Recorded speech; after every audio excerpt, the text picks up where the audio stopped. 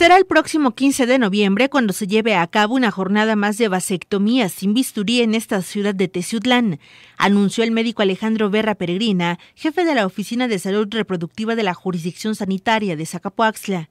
En entrevista para este medio, durante el desarrollo de intervenciones de este tipo el viernes pasado, indicó que se realizarán en el Hospital General de Teciutlán, por lo que los caballeros interesados en el procedimiento pueden apartar sus lugares desde este momento. El día 17 de noviembre se llevará a cabo el Día Mundial de la Vasectomía. En este caso, México es sede de, este, de este gran día que se va a llevar a cabo. Tenemos dos jornadas programadas dentro de la jurisdicción. El día 15 de noviembre aquí en el Hospital General de Teciutlán y el día 16 en el Hospital Comunitario de Zacapuazla.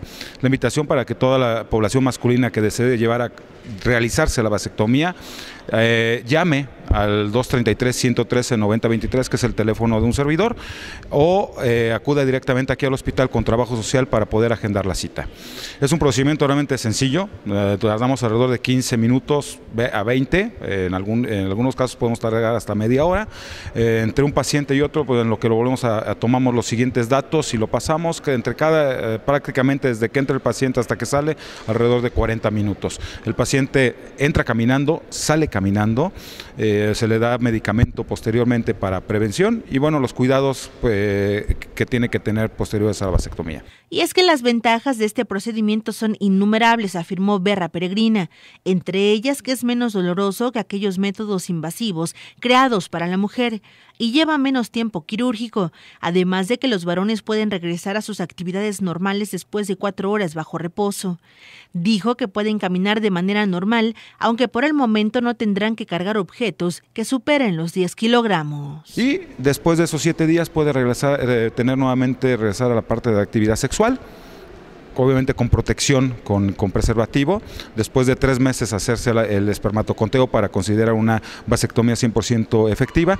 Y bueno, también después de los 15 días, estamos los 7 días actividades normales, a los 15 días si practica algún deporte puede realizarlo sin mayor problema.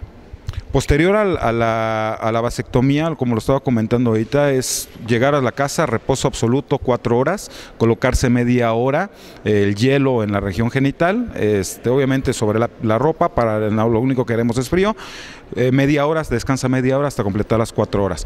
Después de esto, no levantar objetos pesados de más de 10 kilos, este, obviamente evitar los irritantes, eh, picantes más que nada, el consumo de grasas, eh, en este caso que es la recomendación que normalmente se hace, y comentábamos evitar esfuerzos físicos, actividades normales prácticamente. Finalmente indicó que las puertas de los servicios de salud están abiertas para la población masculina, de la cual también es responsabilidad la planificación familiar, por lo que aquellos que estén convencidos sobre este procedimiento deberán presentarse antes del 15 de noviembre en el área de trabajo social del Hospital General de Teciutlán, o bien comunicarse al número 233 113 9023 directamente con el responsable de la Oficina de Salud Reproductiva. Con información e imágenes de Ernesto Vázquez, Coral Méndez Mendo, Informativo 9.